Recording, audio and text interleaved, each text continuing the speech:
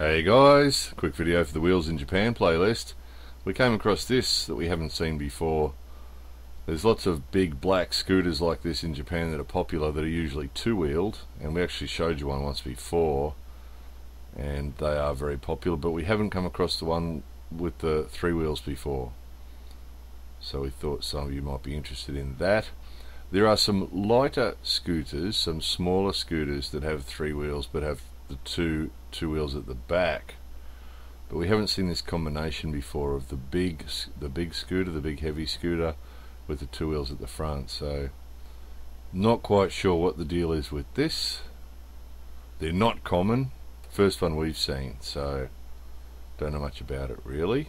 Some of you guys might. If you know anything about this sort of bike just leave the comment below. Tell us what it is if you know anything about it